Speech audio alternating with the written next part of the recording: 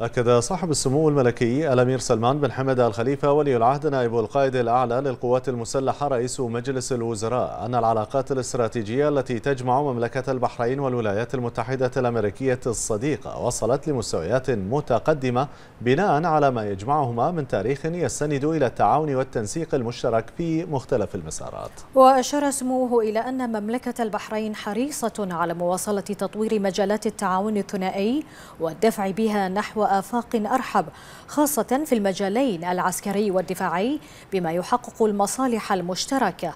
جاء ذلك لدى لقاء سموه في قصر الرفاع اليوم بحضور معالي الشيخ سلمان بن خليفة آل خليفة وزير المالية والاقتصاد الوطني الفريق بحري تشارلز برادفورد كوبر قائد القوات البحرية بالقيادة المركزية الأمريكية قائد الأسطول الخامس.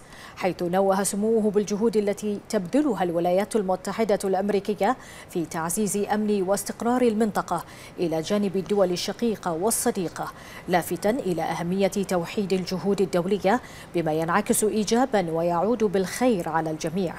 وأضاف سموه أن العلاقات بين مملكة البحرين والولايات المتحدة الصديقة تشهد تطورا مستمرا على كافة الأصعدة مشيرا إلى إسهامات الجالية الأمريكية والتأكيد على أهمية تعزيز دورها في دعم مسارات التنمية بالمملكة بما يعكس عمق أواصر الصداقة بين البلدين والشعبين الصديقين.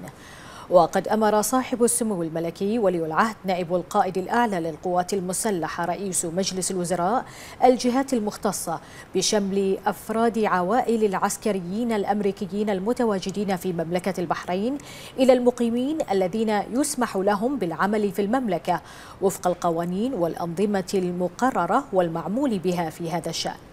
بما يسهم في تعزيز إسهاماتهم في عملية التنمية الاقتصادية وخلق المزيد من الفرص الواعدة للمواطنين ودعم مختلف مسارات التنمية بالمملكة.